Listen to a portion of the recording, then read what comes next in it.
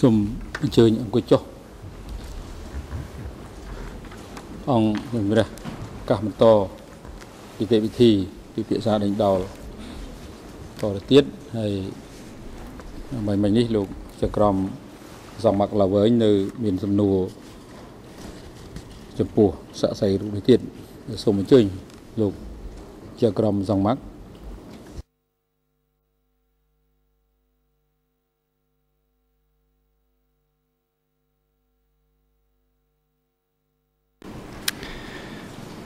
Monsieur Mamnaï, est-ce que on vous a demandé souvent d'écrire les mots à libérer et est-ce que vous avez souvent obéi à de tels ordres sans avoir à vous poser de questions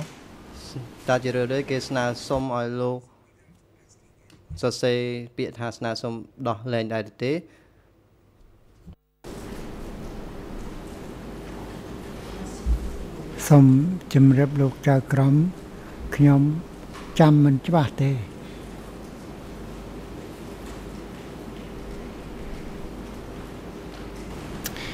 Qui vous a demandé d'écrire de telles annotations សំណួរ Est-ce que c'est l'accusé តើនរណាគេ ou ស្នើ est-ce que សុំឲ្យលោក c'est សរសេរចំណា Nat បែបនោះតើជាជនជាប់ចោតឬក៏ណា តតាមយល់គឺថាមានតែប្រធានគឺណាតទេដែលណែឲ្យសរសេរសុំដោះលែង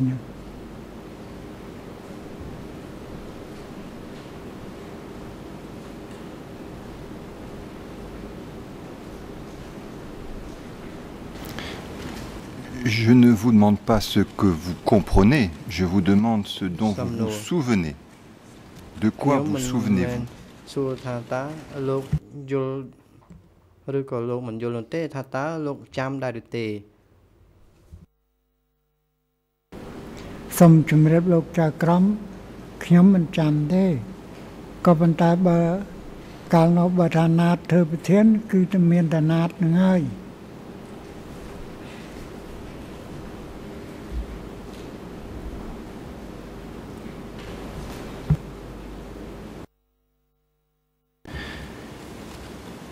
Dans vos rapports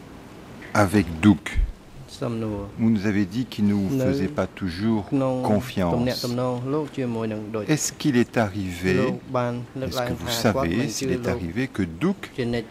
fasse des rapports à ses supérieurs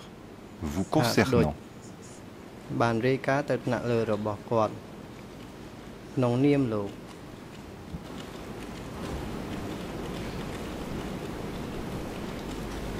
ត់ក្នុងនាមលោក ត្រង់នេះក៏ខ្ញុំមិនយល់ពីសំណួររបស់លោកចៅក្រមដែរសូមលោកចៅក្រមអភ័យទោសហើយសូមសួរខ្ញុំម្ដងទៀត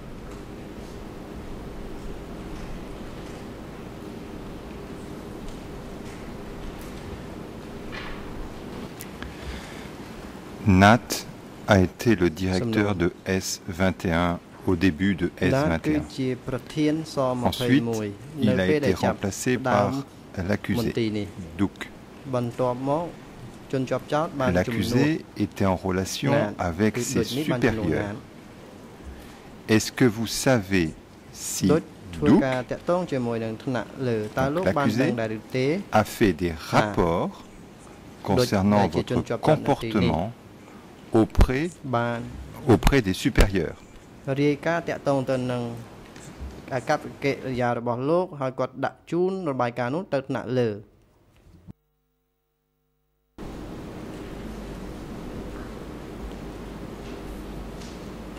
ខ្ញុំនៅតែមិនយល់អំពីសំណួររបស់លោកតើ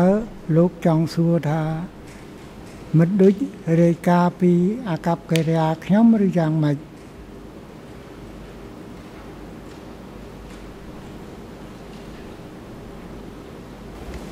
Oui, monsieur Mamnaï. ចក្រមឡាវែនគឺខ្ញុំនិយាយអញ្ចឹងមែនសូមជម្រាបលោកថ្ងៃមួយមានខ្មាំងតែថាខ្មាំងនៅវរៈសេនាធំនៅកងពល107ឈ្មោះផាននោះតាមមិនដូចប្រាប់ខ្ញុំក៏ថាផាននឹងឆ្លើយដាក់ខ្ញុំ ថាខ្ញុំនឹងធ្លាប់ទៅលេងផ្ទះពូវា ហើយសូមជម្រាបលោកឲ្យវែងតិចចុះពូវានឹងគឺជាពួកម៉ាក់ខ្ញុំតាំងតែពីនៅរៀនពីថ្នាក់6រហូតដល់ទៅចេញធ្វើគ្រូទាំងអស់គ្នាហើយពូវានឹងមុននឹងឈ្មោះនោះឈ្មោះផាលីផែននឹងចូលធ្វើបដិវត្តត្រូវកសែតចោទថាជាខ្មែរសេរីហើយដល់អញ្ចឹងទៅ ខ្ញុំក៏ជំរាបទៅមិនដូចថាបំទុកចិត្តខ្ញុំអានឹងចាប់ខ្ញុំទៅហើយបានបន្តិចក្រោយមកស្រាប់មិនដូចគាត់ប្រាប់ខ្ញុំថាគាត់បានរាយការណ៍ទៅខាងលើហើយហើយខាងលើបានឆ្លើយតបមកវិញឆ្លើយតបមកវិញថាខ្ញុំជាអ្នកចេះខ្ញុំនិយាយអីជឿគាត់ទៅ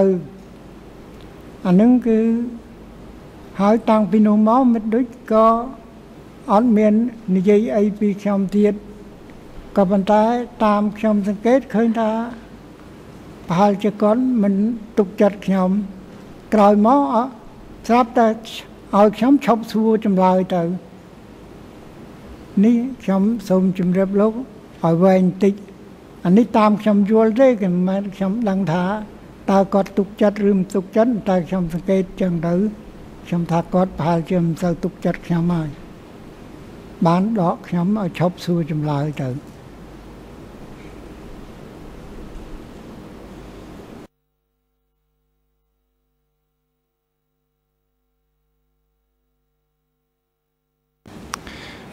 Quand est-ce que se situait cet incident C'était au début de S21 C'était plutôt à la fin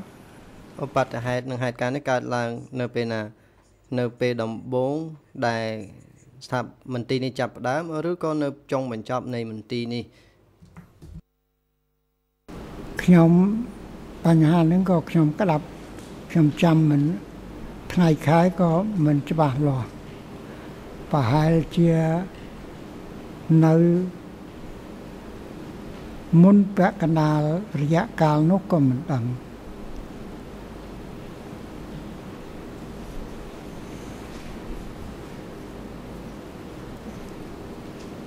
បញ្ហានឹងខ្ញុំក្តាប់មិនបានច្បាស់ទេខ្ញុំគ្រាន់តែដឹងពីសភាពការអញ្ចឹងសូមលោកចៅក្រមជ្រាប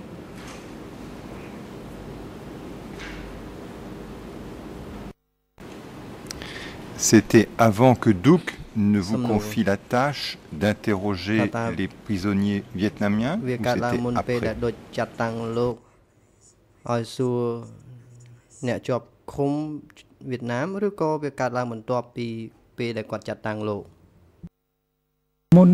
ពេលខ្ញុំសួរយួនគឺថាប្រហែលជានៅពេលគាត់ឡើងធ្វើប្រធានមន្ទីរពេញប្រធានស21ហើយមើលទៅ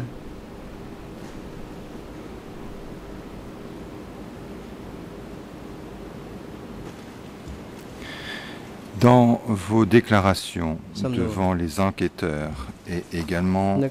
cours d'une confrontation qui figure à la cote D54 du euh, dossier, vous avez notamment déclaré ceci, c'est la cote D54, page 9 en version française vous avez indiqué qu'à S21, toutes les conversations téléphoniques étaient enregistrées de peur que les uns et les autres entrent en contact sur diverses questions. Vous avez expliqué que c'était Duc qui vous avait informé de cette pratique et qu'il vous avait expliqué que c'était pour éviter que les interrogateurs ne communiquent entre eux. Vous avez également précisé l'appareil était à proximité de l'endroit où travaillait Im.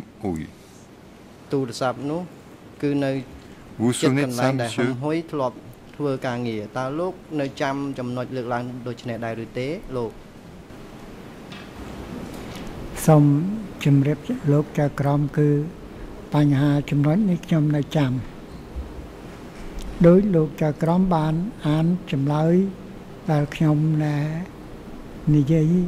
ជម្រាបលោកចៅក្រមស៊ើបអង្កេតកាលពីតទល់គ្នានោះមែន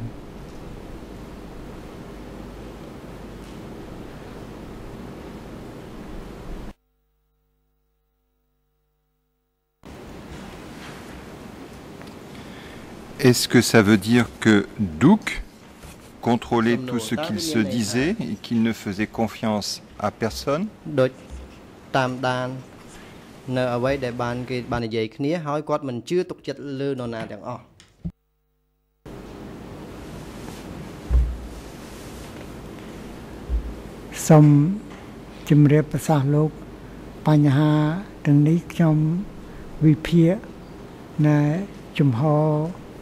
រណាទាំងអស់សូមជម្រាបប្រសាសន៍លោកបញ្ហាទាំងនេះខ្ញុំវិភាគនៅជំហររបស់គាត់មិនបានត្រឹមត្រូវទេក៏ប៉ុន្តែខ្ញុំគ្រាន់តែដឹងថា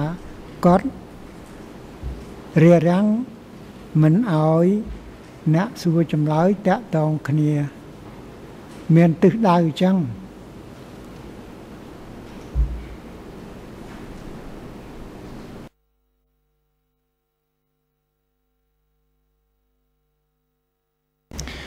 Donc Duke avait imposé une règle selon laquelle les interrogateurs ne devaient pas parler entre eux. Est-ce que vous confirmez cela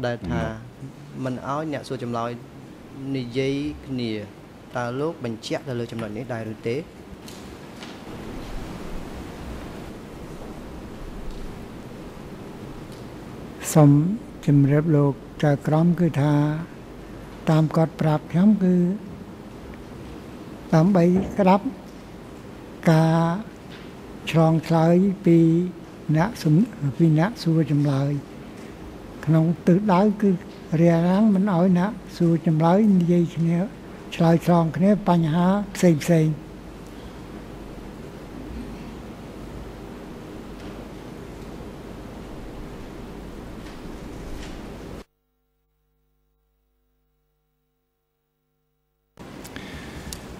Est-ce que Douk venait parfois assister aux interrogatoires que vous meniez Est-ce qu'il venait contrôler la façon dont ça se passait ថាតើដូចនេះគាត់ធ្វើការតាមដាននិងត្រួតត្រួតពិនិត្យទៅលើការសួរចម្លើយនៅពេលដែលមានការសួរចម្លើយរបស់អ្នកសួរចម្លើយដែរឬទេចំពោះបញ្ហានេះសូមលោកចៅកងចៅក្រមជ្រាប ខ្ញុំសួរចម្លើយមិនដូចមិនដែលមកចូលកន្លែងខ្ញុំដើម្បីពិនិត្យអីនោះទេ ហើយចំពោះអ្នកដទៃទៀតក៏ខ្ញុំក្តាប់មិនបានថាតើគាត់ទៅឬមិនទៅអានឹងខ្ញុំមិនដឹងដែរ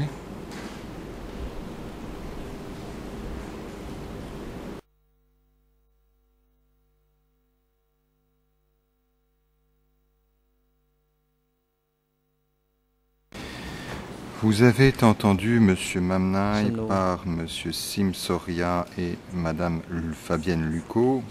enquêteurs des chambres extraordinaires. Cet interrogatoire figure à la cote D50 2 et à la page 4 de ce procès-verbal d'interrogatoire. Il est dit ceci. Pendant que je menais l'interrogatoire, parfois Douk était venu me voir aussi.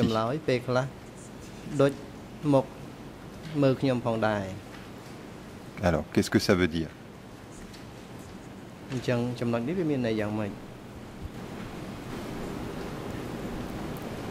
Tam, Knyam, Cham, Kutap, Napel, Suyun, Kram, Dakun, កទេកុំតែបើថាពេលសួរខ្មែរក្រែងខ្ញុំភ្លេចម្លង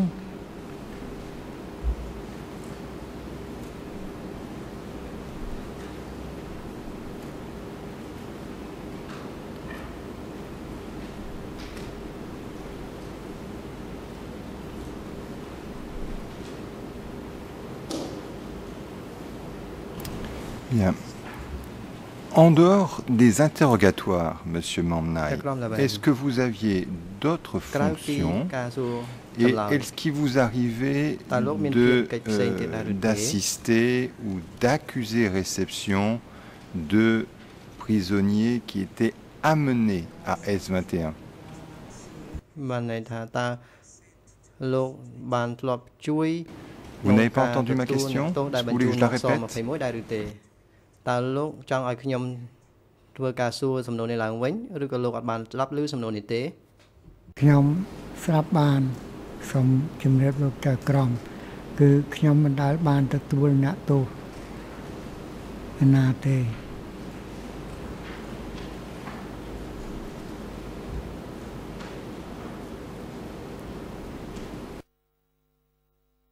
Alors, peut-être euh, serait-il possible de présenter un certain nombre de documents.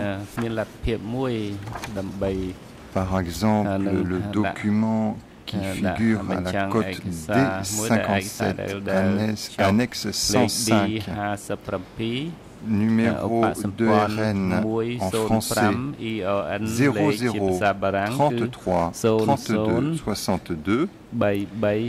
et numéro de RN en Khmer ហើយ ERN លើភាសាខ្មែរគឺ0 0 708 706 រហូតទៅដល់0088 Présentez donc ce document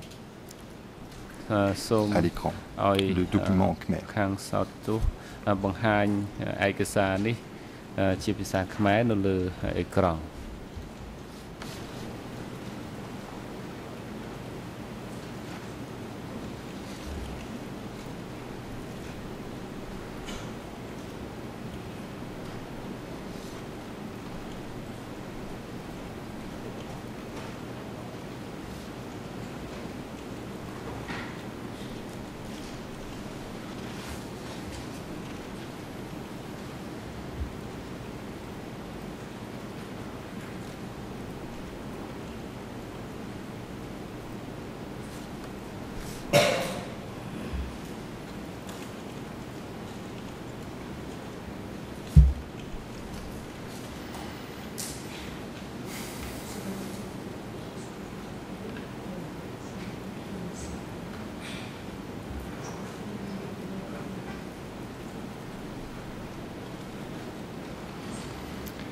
Voilà, peut-être pourrions-nous aller au bas de ce document. ជាក្រុមល្វែងប្រហែលជាយើងអាចបង្វិលទៅខាងក្រោមនៃឯកសារ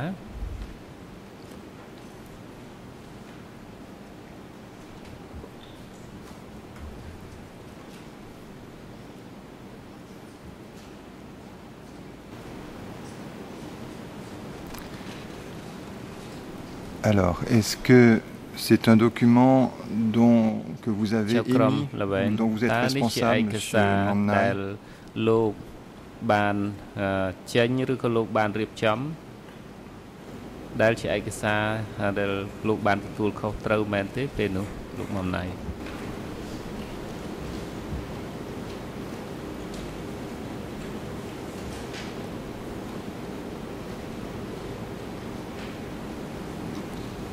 សូម ជម្រាបលោកចៅក្រមខ្ញុំចាំមិនបាន ច្បាស់លាស់ទេ ពីព្រោះអីខ្ញុំមិនជាអ្នកយកចិត្តទុកដាក់ប្រមាណហើយក៏គ្មាន ការប្រកាសចាត់តាំងឲ្យស្រួលបួលដែរ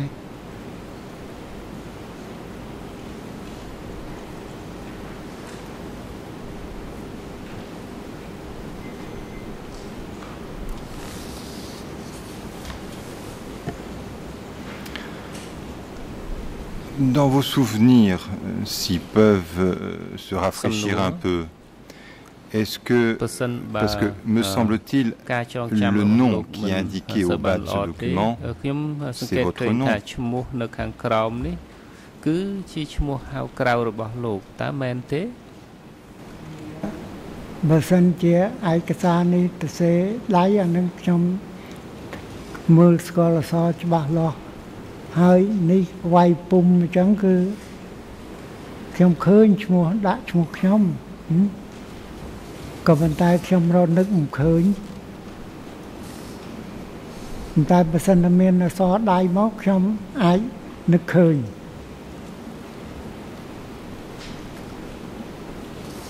តែឈ្មោះហ្នឹងប្រកាសទៅឈ្មោះខ្ញុំហើយដាក់ចាំអត់មានអ្នកណាផ្សេងទៀតទេ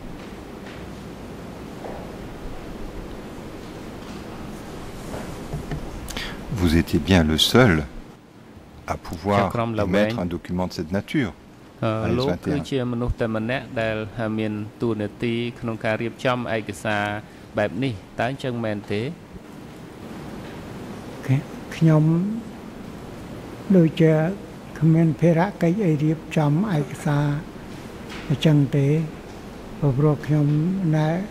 នៅចាំថាខ្ញុំជាអ្នកសួរចម្លើយប៉ុណ្ណោះ តែបើថានៅពេលគេប្រើប្រាស់ខ្ញុំឲ្យធ្វើអីផ្សេងទៀតអានឹងខ្ញុំចិត្តតែធ្វើតាមការគេបង្គាប់ទៅនឹងសូមជម្រាបលោកចៅក្រមអញ្ចឹងខ្ញុំមិនច្បាស់លាស់ដែរ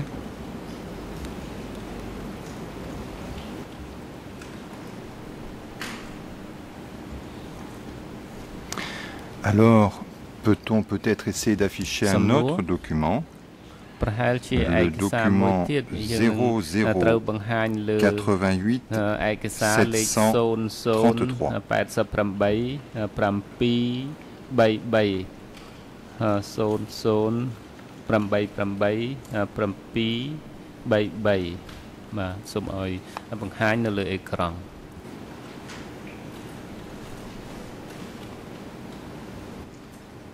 Donc il s'agit de l'ERN en khmer បកប្រែគឺ00088733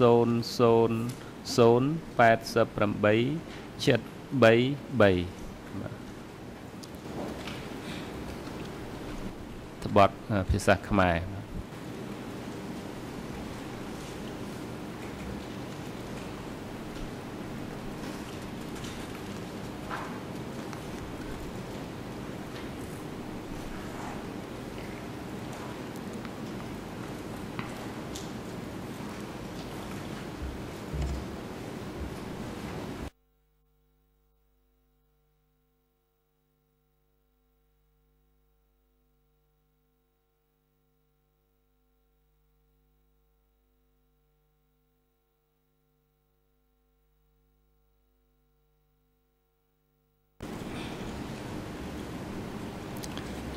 Alors, je n'ai malheureusement eu accès qu'aux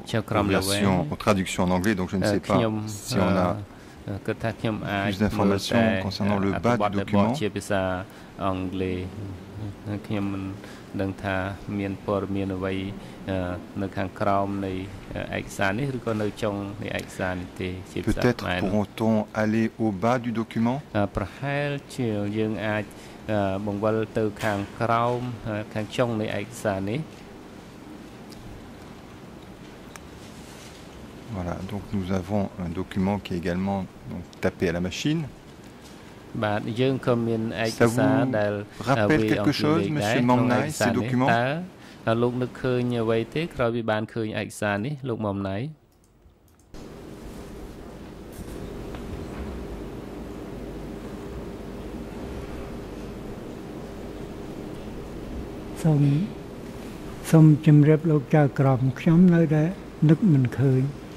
ក៏តែខ្ញុំឃើញថាឈ្មោះគឺឈ្មោះខ្ញុំ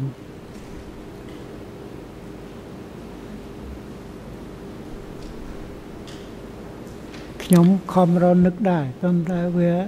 នឹកមិនឃើញមើលវាមិនចាញ់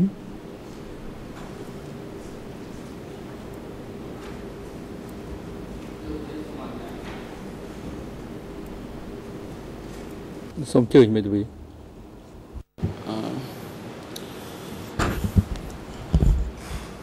ខ្ញុំមានយោបល់ពីរទី1គឺតាក់ទងទៅនឹងការបង្ហាញឯកសារផ្សេងផ្សេងកន្លងមកនេះគឺថាការបង្ហាញគឺមិនបានច្បាស់ឲ្យសាកសីមើលឃើញទាំងអស់ទេដូច្នេះគ្រាន់តែឃើញតែឈ្មោះនឹងមួយម៉ាត់ឬក៏ថ្ងៃទីនឹងបន្តិចអញ្ចឹងគាត់ក៏មិនអាចចាំបានថាតើជាអត្តបទយ៉ាងម៉េចដែលកើតឡើងពិតប្រកបជាមួយនឹងគាត់ធ្លាប់បានធ្វើកន្លងមកឬយ៉ាងណានោះក៏អត់ដឹងដែរបាទបើសិនជាអាចត្រូវត្រូវបកគលឲ្យគាត់មើលបានទាំងអស់ឲ្យច្បាស់ ថាតើខ្លឹមសារហ្នឹងគាត់ធ្លាប់បានធ្វើទេអាចទាញការចងចាំរបស់គាត់បាទនេះជាចំណុចមួយដែលអាចធ្វើឲ្យគាត់នឹងចងចាំបានឬរំលឹកឡើងវិញបានបើសិនរឿង30 40ឆ្នាំទៅហើយហើយការសរសេរហ្នឹងវាជារឿងច្រើនទៅទៀតមិនមែនជារឿងធំធំមួយមួយដូច្នេះការចងចាំរបស់គាត់វាមិនអាចនៅបានជាពិសេសដោយសារគាត់ចាស់ជារៀងចេះទៀតយើងឃើញថាការចងចាំវាបាត់បង់ច្រើនបាទទី2ខ្ញុំសូម ជម្រាបជូនលោកប្រធានអំពីការបង្កើតសំណួរជាទូទៅខ្ញុំសូមជូនជាសំណុំពរថាតើសមាជិកក្រុមប្រឹក្សាជំនុំជម្រះមានសិទ្ធិបង្កើតសំណួរគ្រប់បែបយ៉ាងទាំងអស់ដាក់ទៅលើសាក្សីឬមួយយ៉ាងណាឬមួយក៏មានកំណត់ថានៅសំណួរប្រភេទណាដែលមិនគួរសួរឬក៏យើងត្រូវបង្កើតជានីតិវិធីដើម្បីកំណត់ជាជាជាបញ្ញត្តិថា សំណួរឧទាហរណ៍ថាជាសំណួរនាំមុខមិនគួរសួរឬក៏សំណួរសួរផ្ចាញ់សាក់សីមិនគួរសួរពីព្រោះបើសិនជាលោកចក្រមគ្រប់រូបសួរមកសាក់សីទាំងអស់អញ្ចឹងវាវាមានបញ្ហាដល់លើក្រោយទៀតថាខាងបរិយាញ្ញាឬខាងលោកមេធាវីការពារគាត់នឹងត្រូវសួរយ៉ាងម៉េចទៅលើនេះហើយអាចសួរនៅសំណួរប្រភេទដដែលៗច្រើនទៀតយ៉ាងទៀតខ្ញុំឃើញលោកចក្រមដែលសួរកន្លងមកក៏មានសំណួរ ជន់គ្នាដដែលដដែលច្រើនសារច្រើនលើកដែរបាទអញ្ចឹងជាសំណុំពររបស់ខ្ញុំបើអាចធ្វើទៅបានគួរតែផ្អាកសវនាការនេះសិនហើយសូមលោកអឺចក្រមពិនិត្យទៅលើទម្រង់នៃការបង្កើតសំណួរវិញថាតើក្រុមប្រឹក្សាចំនួនជំរះគួរបង្កើតសំណួរបែបណាហើយមេធាវីនិងបរិយាអញ្ញាអាចមានសិទ្ធិបង្កើតសំណួរបែបណាដើម្បីខ្ញុំមានលទ្ធភាពថាសំណួរបែបណាដែលខ្ញុំអាចបដិសេធ បើសិនជាសំណួរណាក៏សួរបានសំណួរណាក៏សួរបានវាធ្វើឲ្យស័ក្តិសិទ្ធិវងវែងវង្វាន់មិនអាចមិនអាចគ្រប់គ្រងស្ថានភាពបានទេហើយបើយើងគិតថាឧទាហរណ៍ថាការសួរសំណួរដែលតាមប្រភេទសមនាការមួយដែលដែលដែលជាយើងហៅថាជា adversarial ឬក៏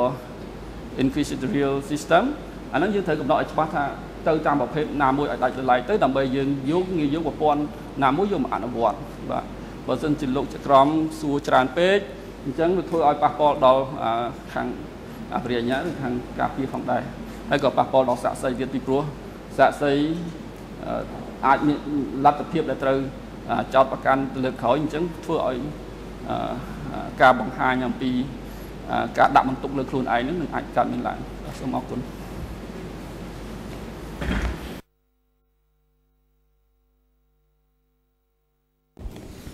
អរគុណលោកមេធាវី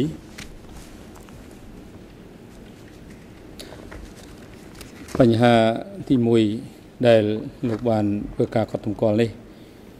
ខ្ញុំយល់ថាជាការសំរុំមួយ ដែល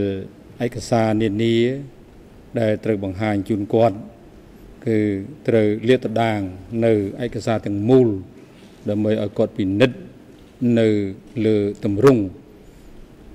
និងខ្លឹមសារនៃលិខិតនោះឲ្យបានច្បាស់លាស់មុននឹងឆ្លើយសំណួរឃើញថាការកត់សម្គាល់នេះសមរម្យត្រឹមត្រូវហើយគួរតែត្រូវបានអនុវត្តដូច្នេះដែលឡែកបញ្ហាទី2ដែលលោកបានធ្វើការកត់សម្គាល់អំពីទម្រង់នៃការបង្កើតសំណួររបស់អង្គជំនុំរះ ខ្ញុំសូមជម្រាបលោកមេធាវីថា តាមប្រព័ន្ធដែលយើងអនុវត្តនេះ គឺអនុវត្តតាមនីតិវិធីនៅកម្ពុជា ដែលមានប្រភពឬក៏លំនាំតាមបែបច្បាប់បារាំងនោះគឺយើងប្រើភាសាថានីតិវិធីប្រព្រឹត្តទៅតាមបែប civil law ដូច្នេះតួនាទី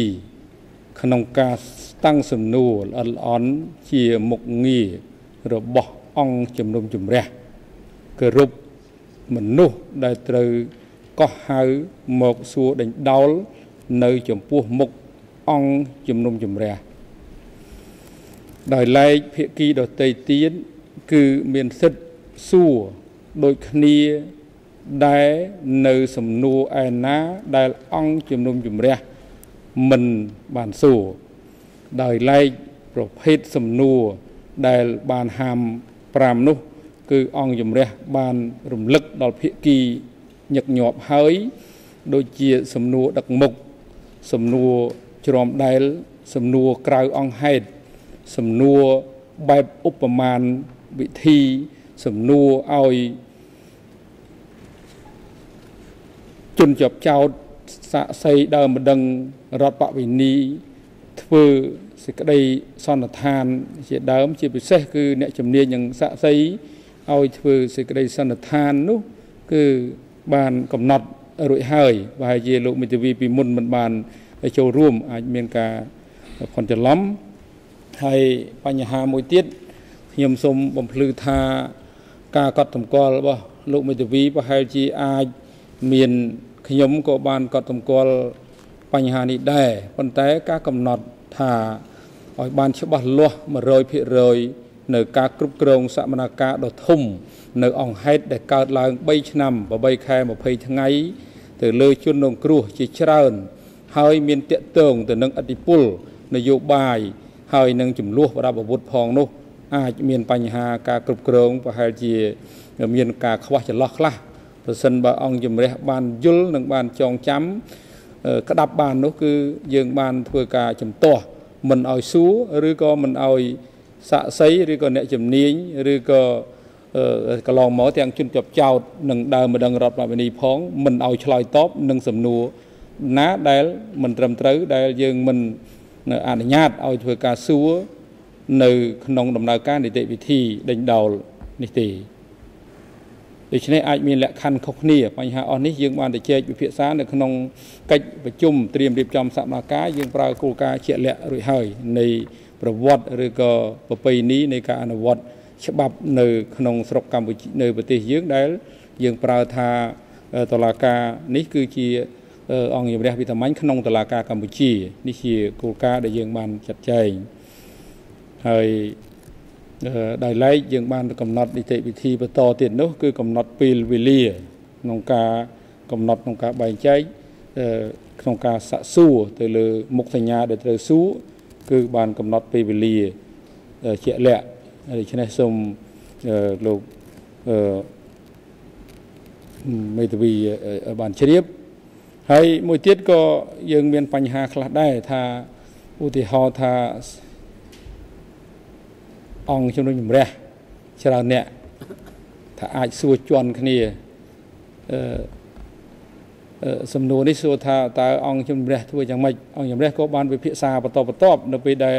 ចូលទៅសម្រាប់ហ្នឹងមិនមែនទៅអង្គុយលេងសុទ្ធសាធទេគឺដកបទពិសោធន៍ដើម្បីធ្វើការងារកុំឲ្យមានការជ្រំដែលកុំឲ្យមានការខុសឆ្គងដើម្បីជំរុញលបឿននៃដំណើរការនីតិវិធីនេះប្រព្រឹត្តទៅបានឈប់ឆាប់រហ័សប្រកបដោយយុត្តិធម៌ និងការចំណាយដឹកនាំក្នុងការសួរដេញដោលនេះឲ្យអស់លទ្ធភាពឲ្យចំបញ្ហាសូម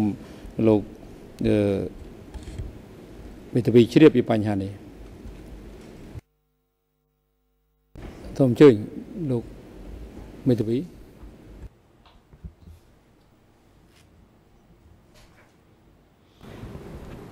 Oui, merci Monsieur le, le Président. Juste pour une clarification à la suite de l'observation de notre confrère, je crois qu'il faut bien rappeler l'article 28 de notre règlement, à savoir qu'un témoin peut refuser de s'incriminer. Je ne sais pas comment ça se traduit en khmer. Mais en tout cas, ça signifie clairement que le témoin peut demander à garder le silence sur des questions qui le conduiraient à s'accuser. Nous connaissons bien cette règle puisque nous sommes dans, cette, dans ce procès depuis plusieurs semaines, mais je pense qu'il est bon que le témoin l'entende bien, lui qui n'est avec nous que depuis 24 heures. Il a le droit de garder le silence si la question qui lui est posée conduirait à ce qu'il s'accuse. សំណួរគាត់នោះបានបើសិនបើគាត់គិតថាឆ្លើយទៅនឹងដាក់បន្ទុកលើខ្លួនឯងនោះអរគុណមេធាវីកាពីក្តីខ្ញុំរំលឹកឡើងវិញថាសិទ្ធិនេះបើខ្ញុំមិនភ័ន្តច្រឡំទេខ្ញុំបានជម្រាបជូនដល់សាក្សីរូបនេះ តាំងពីផ្ដើមដំបូងនៃដំណើរការនីតិវិធីម្លេះ ហើយពេលនេះគឺគាត់នៅតែមានសិទ្ធិនៅក្នុងករណីដែលសំណួរណា ដែលគាត់យល់ឃើញថានាំឲ្យទម្លាក់វិរុទ្ធភាពទៅលើខ្លួនគាត់ប៉ុន្តែខ្លួនគាត់មិនទាន់បានបង្ហាញអំពីបញ្ហានេះទេអញ្ចឹងកិច្ចនីតិវិធីបើមានចែងវាលុះត្រាតែសំណួរណាដែលនាំឲ្យមានវិរុទ្ធភាពគាត់យល់ថាខ្លួនឯងថាមានវិរុទ្ធភាពគាត់រក្សាសិទ្ធិមិនឆ្លើយអញ្ចឹងនីតិវិធីអាចបន្តទៀតឬក៏តម្រូវឲ្យឆ្លើយវាអាស្រ័យទៅលើករណីសំស្របហើយមានកិច្ចធានាផ្សេងៗដែលមានចែងនៅក្នុងវិធាន28ដែលមានចែងសពគ្រប់អំពីលក្ខខណ្ឌនានានៅក្នុងការអនុវត្តថាតើត្រូវអនុវត្តតាមវិធីណាតាមរបៀបណាតាំងពី8.1រហូតដល់8.9បញ្ហានេះអង្គជំរះបានត្រៀមលក្ខណៈក្នុងការពិភាក្សាច្រើន ทั้งเชิญเลือกมาหายดำไปดักน้อมกรุบกรองสมนาการระบียบนี้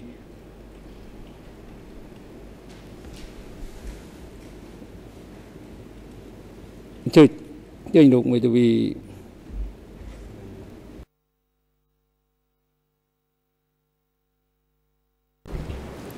Merci, Monsieur le Président. Simplement, alors, si le, le témoin. est rappelé ses obligations បានថាប្រសិនបើយើងបានជូនដំណឹងទៅសាកសីអំពី demande qu'il lui soit aussi rappelé នឹងសិទ្ធិរបស់គាត់តាមវិធាន28ហើយខ្ញុំជាមេធាវីដំណឹងរដ្ឋវេនីខ្ញុំជឿថាកតបកិច្ចនឹង30និង36ក៏ក៏បីរំលឹកដែរប្រសិនបើគាត់មិនប្រើលទ្ធភាពមួយ des obligations extrêmement sérieuses notamment sur la règle 36 alinéa 1 et les conséquences d'une violation de cette règle. selon l'article 36 alinéa 2 renvoyant l'article 35 alinéa 2 sont sérieuses. et nous ne sommes pas sûrs si son avocat qui semble qui pour la première fois est devant votre juridiction aujourd'hui. Nous ne sommes pas sûrs si son avocat lui a rappelé également les obligations sur les règles 35 et 36 et pas seulement sur la règle 28គាត់អំពីកតាបកិច្ចនៅក្នុងវិធាន35និង36នេះដោយដែលបាននិយាយនៅក្នុងវិធាន28នោះផងដែរបាទ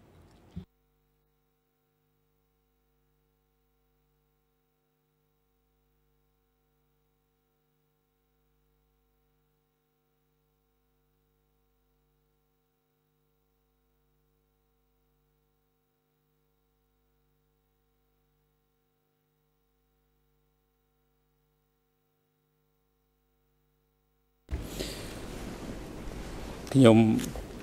គិតថាការយល់ដឹងអំពីខ្លឹមសារនៃវិធាន28នេះគឺវាអាស្រ័យទៅលើកលៈទេសៈទៅលើសំណួរដែលជួបថាតើពេលដែលជួបករណីណា ដែលគាត់មិនព្រមឆ្លើយដោយសារមូលហេតុនៃបញ្ហាអាចប្រឈមនៅក្នុងការ ទម្លាក់កំហុសលើខ្លួនឯងនោះទើបត្រូវមានការដោះស្រាយការដោះស្រាយនេះគឺមានលក្ខខណ្ឌចំពោះអ្នកផ្សេងទៀតដែលចូលរួមប្រសិនបើត្រូវការធ្វើជាសម្ងាត់ជាដើមនោះត្រូវធានាថាការផ្ដល់សក្ខីកម្មរបស់គាត់ត្រូវធានាថារក្សាការសម្ងាត់មិនទម្លាយទេប្រសិនបើទម្លាយគឺនោះគឺអ្នកដែលទម្លាយនៅព័ត៌មាននៃសក្ខីកម្មនោះត្រូវទទួលខុសត្រូវដូច្នេះវាអត់ទាន់ដល់ដំណាក់កាលនីមួយនីមួយ មិនមែនយើងបញ្យលនៅមុនពេលដែលមិនទាន់ដល់រឿងហេតុនឹងវាកើតទេដល់តែរឿងហេតុនឹងវាកើតទើបមានលក្ខខណ្ឌតាមវិធានមួយមួយដែលអនុវិធាននៅក្នុងពិធីវិធាន28នេះយកមកប្រើប្រាស់មកអនុវត្តសូមអញ្ជើញលោកចក្រមសង្មាក់សូមបន្តទៀតហើយសូមមានការចាប់អារម្មណ៍ប្រសិនបើមានការសួរពាក់ព័ន្ធនឹងឯកសារ ដែលមានការឆ្លុះបញ្ចាំងត្រូវក៏បីអាចថតចម្លងឲ្យគាត់មួយច្បាប់ដើម្បីឲ្យគាត់ពិនិត្យមើលនៅតម្រង់និងខ្លឹមសារដើម្បីឲ្យគាត់មានលទ្ធភាពក្នុងការពិចារណាហើយអាចឆ្លើយតបឲ្យត្រូវហើយនឹងឲ្យបានច្បាស់លាស់នឹងសំណួរនោះ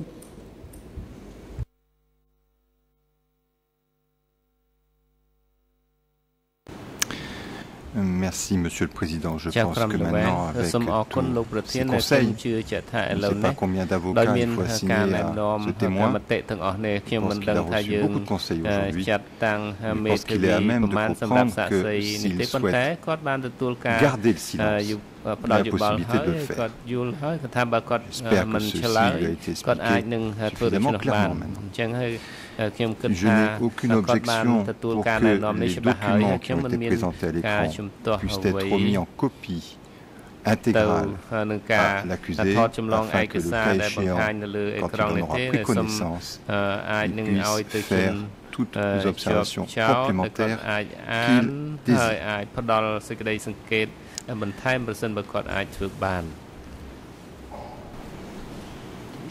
Je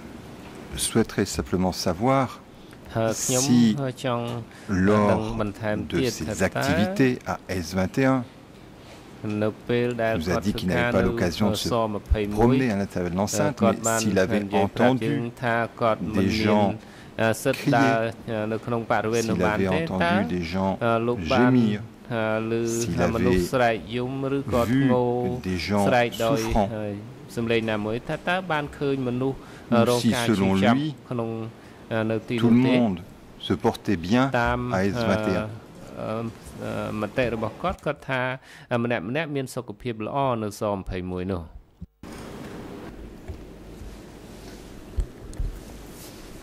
មុំណៃកំអាលឆ្លើយនឹងសំណួរនេះសូមជន់ជប់ចោតមានលើកដៃចង់មាននិយាយបញ្ហាអីទៅ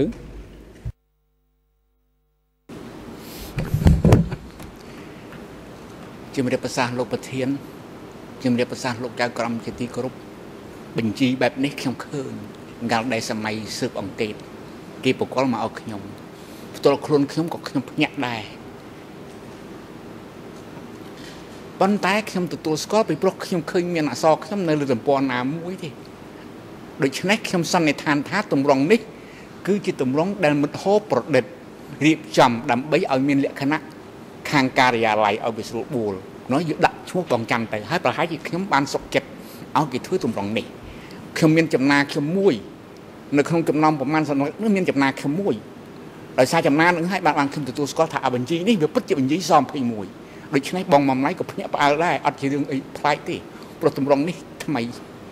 ដូច្នេះអាចមិនមានសញ្ញាបងមកណៃឬក៏មានយ៉ាងក្រំសន្លឹកនេះខ្ញុំសូមបញ្ជាក់អំពីបញ្ហាតម្រង់នេះធ្វើឲ្យខ្ញុំទាំងពីរអ្នកភ្ញាក់ផ្អើលអញ្ចឹងប៉ុន្តែខ្ញុំបានឃើញរួចមកហើយ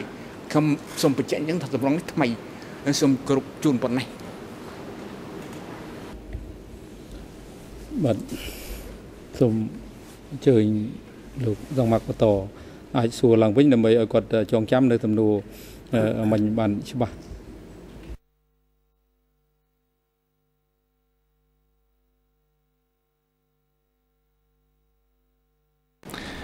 dois avouer que je suis un peu perdu parce que je ne sais plus à qui doit poser des questions. Maintenant, j'ai envie de poser une question à l'accusé.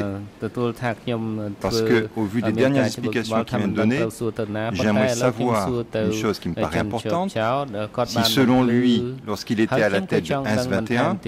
il avait connaissance de formulaires qui comportaient des mentions inexactes. Savoir des formulaires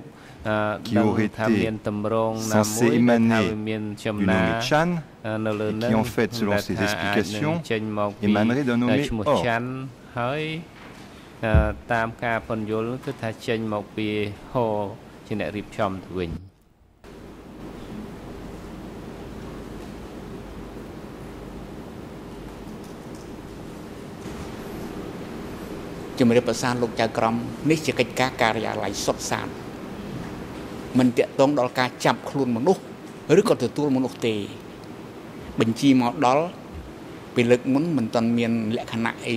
របៀបដែលបារាំងហៅថា style បែបបត់បងជាទីគោរពដោយខាងចុងបញ្ចប់ដោយគោរពដូចអញ្ចឹងទេដោយគេឃើញរបៀបខ្ញុំទៅសេទៅខាងលើ គេគឺយកអានឹងមកប្រឌិតដល់មកប្រឌិតប្រហែលជាខ្ញុំអនុញ្ញាតឲ្យមិត្តហោទៅសេឈ្មោះអ្នក កាន់បញ្ជីនឹងដាក់ចាំខ្ញុំអាចហើយក្នុងបញ្ជីប្រមាណសន្លឹកដែលចៅក្រមស៊ើបអង្កេតយកមកប្រកល់ឲ្យខ្ញុំមើលនោះ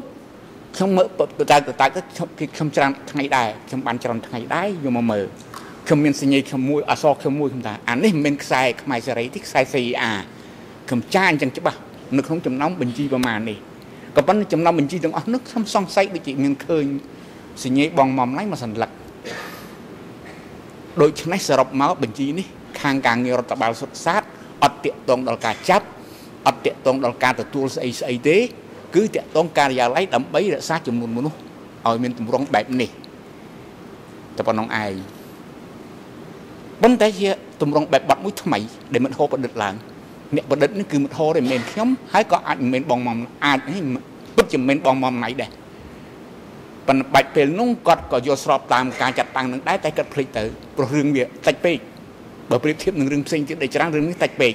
ខ្ញុំសូមបញ្ជាក់ជូនប៉ុណ្ណេះតាមការចងចាំរបស់ខ្ញុំក្នុងឋានៈខ្ញុំជាប្រធានដែលដឹងកិច្ចការអញ្ចឹងអញ្ចឹងខ្លះច្រើនជាងគេ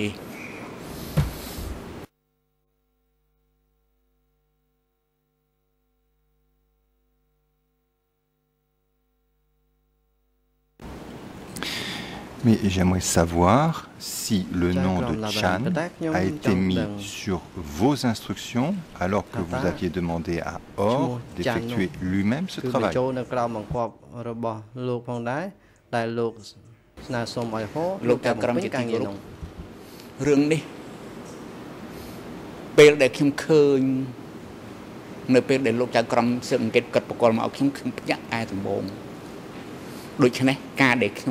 រឿងនេះពេលដែលខ្ញុំឃើញនៅពេលដែលលោកចៅក្រមស៊ើបអង្កេតកាត់បកលមកឲ្យខ្ញុំខ្ញុំភ្ញាក់ឯដំបងដូច្នេះការដែលខ្ញុំគិតបែបនេះគឺជាការសន្និដ្ឋានទេតែខ្ញុំអត់ហ៊ានប្រកែកទេព្រោះមានអសរខ្ញុំនៅនឹងមួយសន្លឹកមួយសន្លឹកមួយមានអសរខ្ញុំដូច្នេះបើតាមការវិភាគហើយនឹងការសន្និដ្ឋាន គឺឈ្មោះច័ន្ទនឹងខ្ញុំអនុញ្ញាតតាមគោលការណ៍ដែលមិត្តហោសនាសុំឲ្យគាត់ទៅសេឈ្មោះច័ន្ទនឹងសម្រាប់ជាអ្នកកាន់កាប់បញ្ជីនេះដូច្នេះជារឿងការងាររដ្ឋបាលអត់មែនតែរឿងការងារចាប់ការងារស្អីស្អីទេគឺការងាររដ្ឋបាលដើម្បីរក្សាបញ្ជីនេះ ឲ្យមានឈ្មោះអ្នកទោសនៅបានគ្រប់គ្រាន់នឹងខ្ញុំសូមបញ្ជាក់ជូនប៉ុណ្ណេះ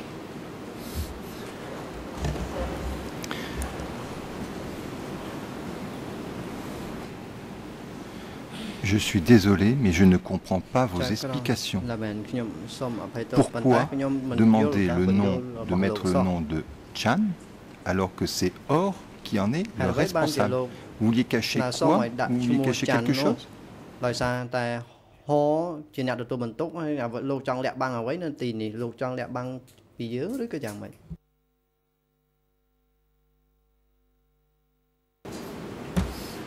លោកលោកប្រធានលោកចៅក្រមជាទីគោរពអនុប្រធានរបស់ខ្ញុំគឺមិត្តហោកិច្ចការទាំងអស់គេដឹងគេគ្រប់គ្រងគេរាយការណ៍ឲ្យខ្ញុំគេសុំសេចក្តីសម្រេចពីខ្ញុំចំណែកបញ្ជីនេះ ទៅខាងផ្នែករដ្ឋរដ្ឋបាលទេ ដើម្បីរក្សាឲ្យមានជាក្រដាស់ជាស្នាមទុកនៅការិយាល័យបំណងនោះហើយបានបានជាគេដាក់ឈ្មោះច័ន្ទហើយខ្ញុំប្រហែលអីប្រហែលអីពិតជាអនុម័តឲ្យគេរួចទៅហើយក៏ប៉ុន្តែរឿងវាតិចតួចពេកខ្ញុំភ្លេចបាត់ទៅហើយគាត់ប្រហែលបងមុំណៃក៏ភ្លេចដែរបានគេគិតធ្វើមិញញ៉ាំងអញ្ចឹងបញ្ជីនេះវាពិតជាបញ្ជីស21ហើយ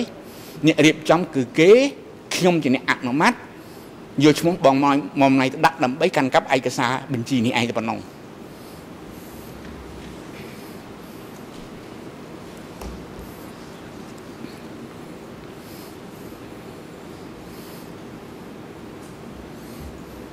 Bien, je pense qu'on va rester là sur ces explications qui me paraissent assez embrouillées. Vous pouvez vous asseoir. Monsieur Mamnaï, je vais répéter la question que je vous posais tout à l'heure.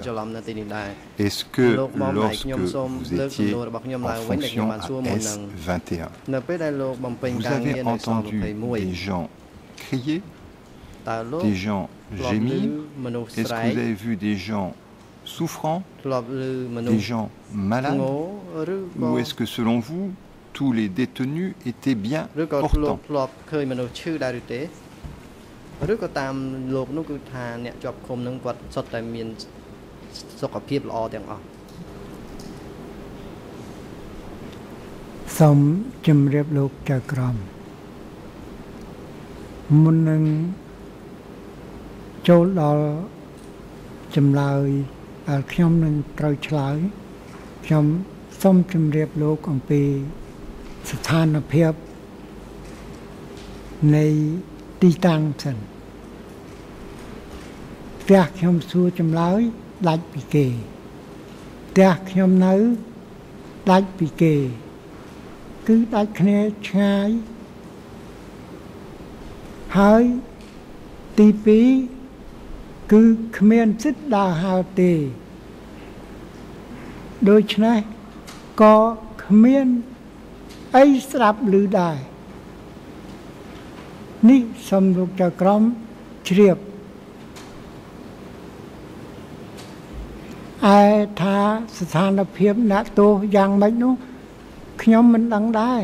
ខ្ញុំឃើញគេយកមកឲ្យខ្ញុំសួរមនុស្សនៅនៅល្អគួរសមហើយតាមខ្ញុំវិភាគគឺថាមនុស្សនឹងគេទៅតែនឹងបញ្ជូនមកបានជាវានៅគួរសមអញ្ចឹងគេមិនមែនឲ្យខ្ញុំ ទៅរើសមនុស្សឬក៏គេយកមនុស្សដែលជាប់រាប់ឆ្នាំមកឲ្យខ្ញុំសួរទេសំលោកចៅក្រមជ្រាបជាព័ត៌មាន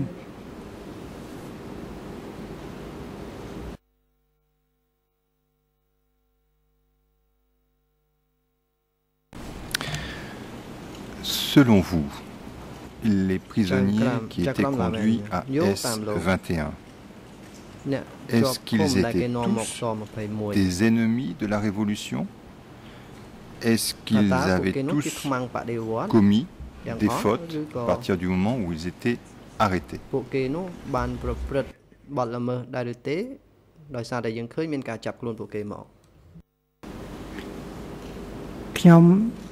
សូមជម្រាបលោកចៅក្រមខ្ញុំចង់បញ្ជាក់តើលោកចៅក្រមសួរអំពីអ្នក ជាប់ចោតខ្មែរឬអ្នកជាប់ចោតយួនលោកចៅក្រមមេត្តាបញ្ជាក់ខ្ញុំនឹងជម្រាបជូន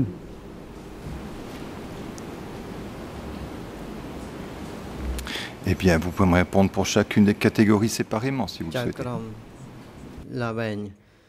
លោកអាចឆ្លើយតបទៅនឹងសំណួររបស់ខ្ញុំនេះដោយលើកអំពីប្រភេទទាំងពីរនេះដាច់ពីឡែកនឹងគ្នា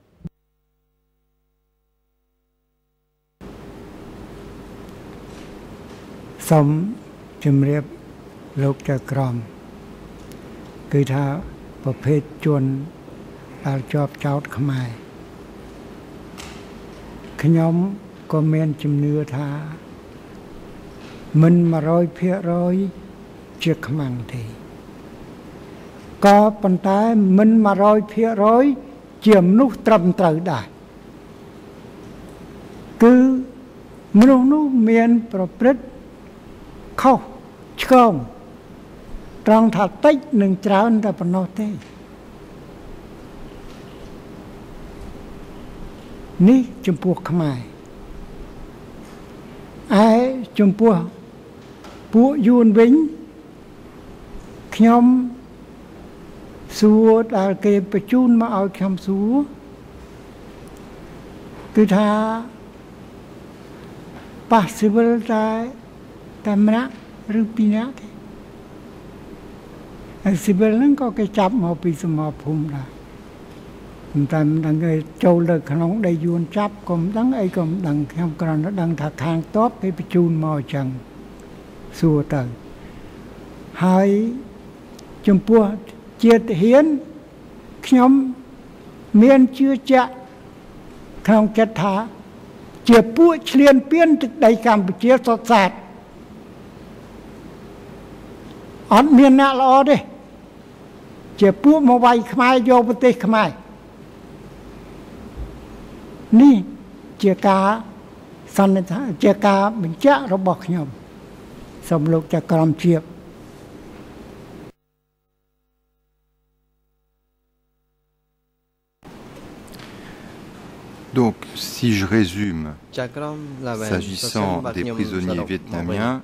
ils avaient tous de bonnes raisons pour être détenus à S-21. S'agissant des Cambodgiens, comme aucun n'était entièrement innocent, vous avez aussi de bonnes raisons pour être à S-21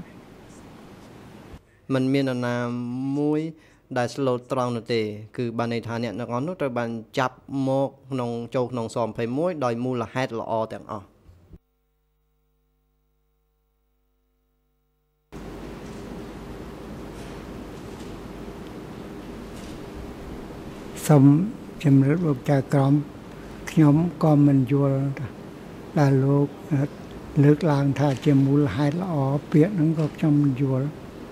មិនដឹងលោកចង់ថាម៉េចលោកអាចបញ្ជាក់នៃរបស់លោកថាល្អនឹងឲ្យខ្ញុំបានដឹងផង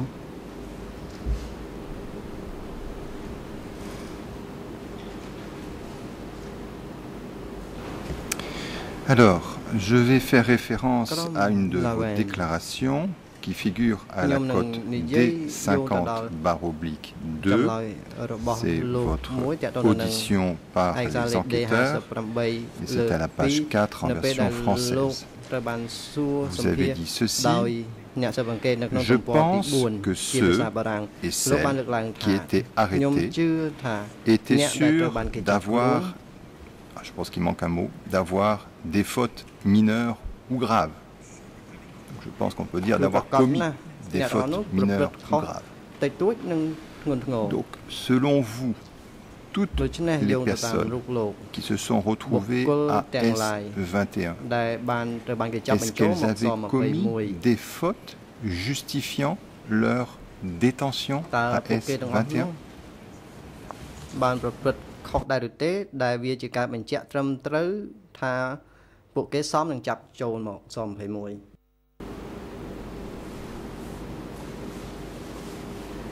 សូមជំរាបលោកចៅក្រមបញ្ហាទោសកំហុសដែលគេចាប់មកពីមូលដ្ឋានបញ្ជូនមកឲ្យស21គឺខ្ញុំមិនដឹងជាទោសកំហុសយ៉ាងម៉េចទេ តែខ្ញុំ និយាយជាមួយនឹងអ្នកស៊ើបអង្កេតរបស់ណែចៅក្រមស៊ើបអង្កេតខ្ញុំថាមានខុសតិចហើយនឹងច្រើនខុសគឺខុសក៏មិនដែលមានខុសតិចហើយច្រើនបានជាគេចាប់មកតែត្រង់មូលដ្ឋានគេឃើញកំហុសប៉ុណ្ណាអានឹងខ្ញុំមិនដឹងទេព្រោះខ្ញុំដឹងតាមខ្ញុំសួរចម្លើយវាមានខុសមែន ក៏ប៉ុន្តែវាគ្រាន់តែស្រាលហែងធួនប៉ុណ្ណឹងទេនេះសុំចៅក្រមជ្រាប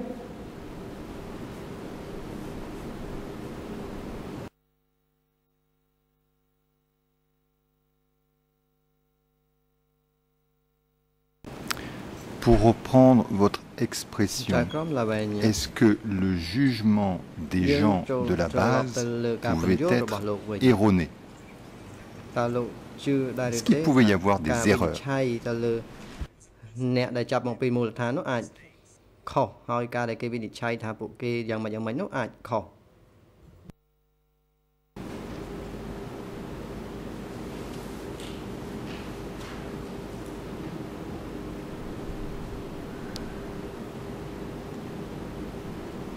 ខ្ញុំ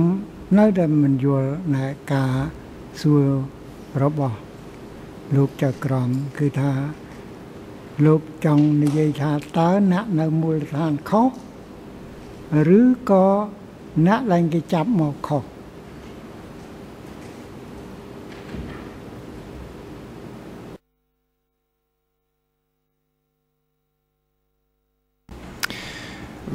Vous avez dit que les gens étaient envoyés à S21 après avoir été arrêtés par, je cite, les gens de la base. Donc, est-ce que ces arrestations pouvaient elles-mêmes être des erreurs Est-ce qu'il y a des gens pour reprendre aussi vos expressions, qui pouvaient être des innocents à 100% ou à 50%. អាចជាអ្នកជន់ស្លូតត្រង់100%ឬក៏អាចជន់ស្លូតត្រង់50%តើលោកអាចនិយាយបញ្ជាក់លើចំណុចនេះបានដែរឬទេ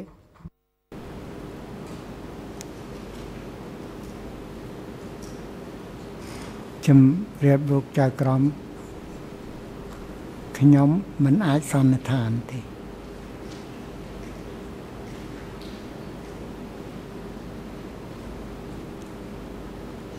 ខ្ញុំសូមចប់ប៉ុណ្ណឹង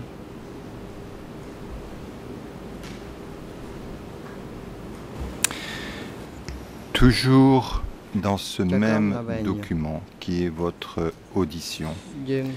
vous avez expliqué que en ce qui vous concerne, vous n'aviez pas peur de la mort à cette époque-là,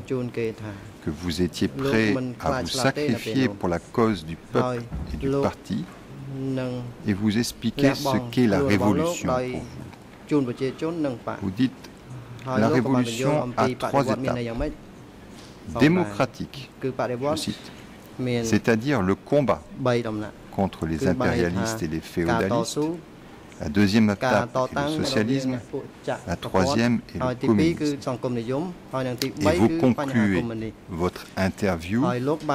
votre audition de la façon suivante. La révolution n'avait pas réussi à cause des ennemis infiltrés et des ennemis de l'extérieur contre le Vietnam. Est-ce que vous pouvez nous en dire un petit peu plus? Est-ce que ça correspond à votre pensée? Est-ce que ça correspond à des regrets chez vous? Et des regrets de quoi? លោកដែរឬទេ ហើយវាមានការស៊ីគ្នាទៅនឹងការសោកស្ដាយដែរឬទេថាអាចលោកអាចបញ្ជាក់ទៅលើចំណុចហ្នឹង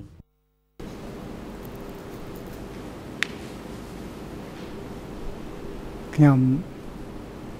សូមចាក់ជូនលោកចាក្រម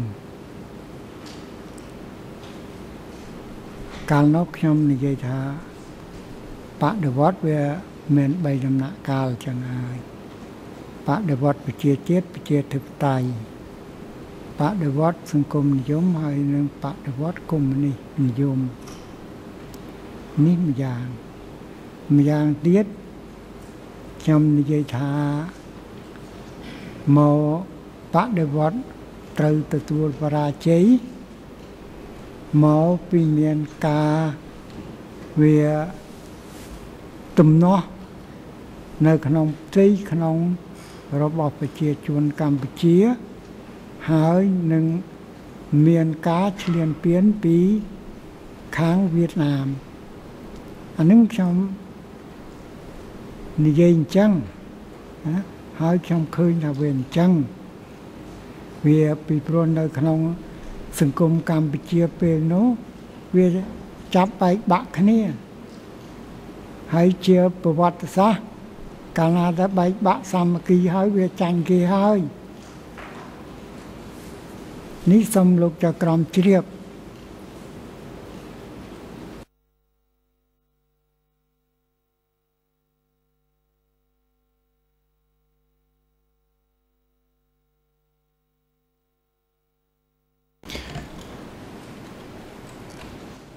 Est-ce que vous pouvez être un peu plus clair, selon vous, qui est responsable de ce qui s'est passé? Et quels sont vos regrets?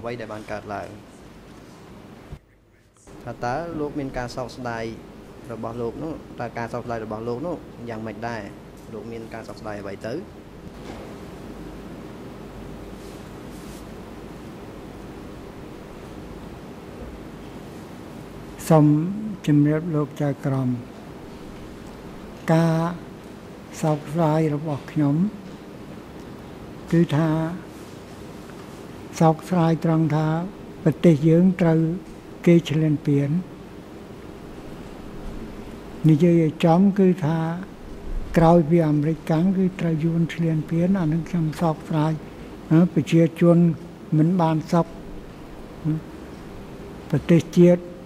ក៏វាត្រូវហាន់ហោចអានឹងខ្ញុំសោកស្ដាយអញ្ចឹង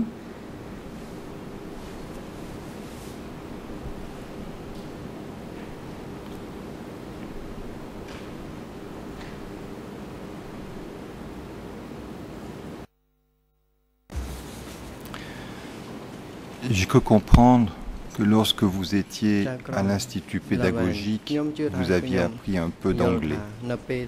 C'est exact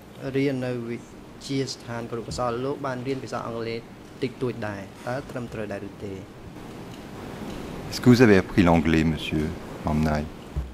តើលោកបានរៀនភាសាអង់គ្លេសដែរឬទេលោកមុំណៃរៀនភាសាអង់គ្លេសបានតិចតួចទេ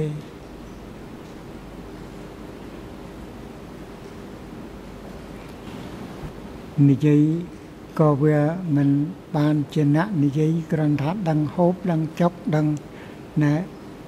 ទទួលទានទឹកទទួលទានអីហ្នឹងទេហើយការសន្ទនាគ្នាច្បាស់លាស់អានឹងខ្ញុំទៅមិនរួចទេ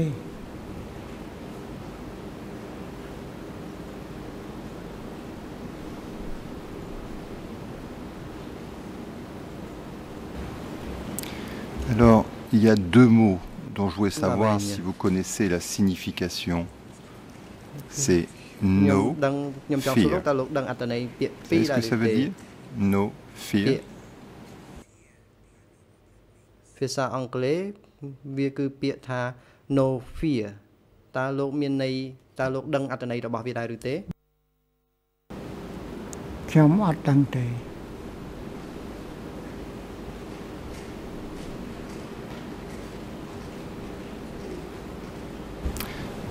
ce cas, je n'ai pas d'autres questions à vous poser. Monsieur le Président, je n'ai pas d'autres questions à poser à l'accusé. Ah, au témoin. ចំពោះករណីនេះខ្ញុំពុំមានសំណួរបន្ថែមទៀតដើម្បីសួរទៅកាន់សាកសីនោះទេលោកប្រធាន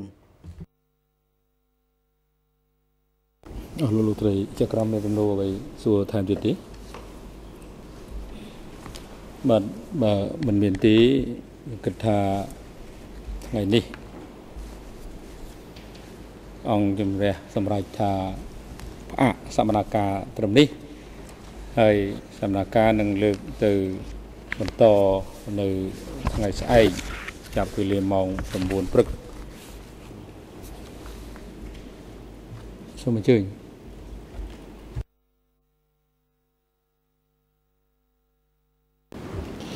Thank you, Mr. President. Just a, a brief matter. We have a document that we would like to show the accused tomorrow. It's quite a lengthy document. We think it's a document that he wrote. We were wondering whether or not we could provide that document um, to, to the witness so he can review it overnight and then uh, the questioning should uh, run more smoothly tomorrow morning with your permission. មានលក្ខណៈរលូនដូច្នេះការលើកឡើងដូច្នេះដើម្បីខ្ញុំសូមការអនុញ្ញាតពីលោកប្រធាន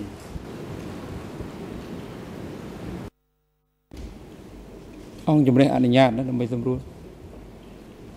អូខេអញ្ជើញ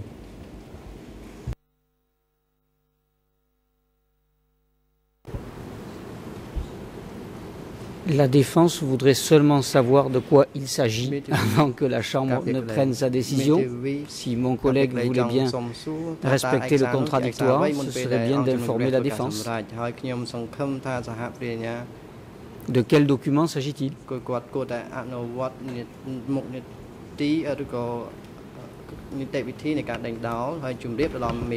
Your Honor, I think I misspoke.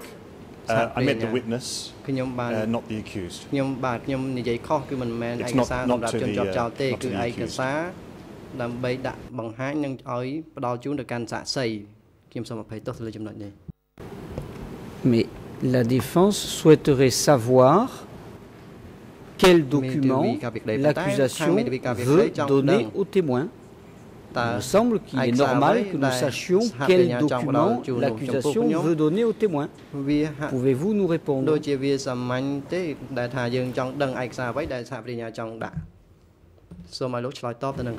Thank you, Your Honor. It's um, IS Annex C. It's the uh, notebook of uh, Chan, of the witness. It's uh, 386, 396 pages. We're obviously not going to go through each page, but just so you become familiar with the document. And we'll give the full references tomorrow. ធ្វើយ៉ាងណាឲ្យមានការស្គាល់ហើយនឹងស្របទៅនឹងឯកសារហ្នឹងហើយយើងមានកំណត់ហេតុពេញលេញនៅថ្ងៃស្អែក Monsieur le Président, s'il s'agit bien de ce document, la défense n'a pas d'objection. Mais je voulais être sûr du document dont on nous parlait. Donc, pas d'objection pour ce document-là. Donc,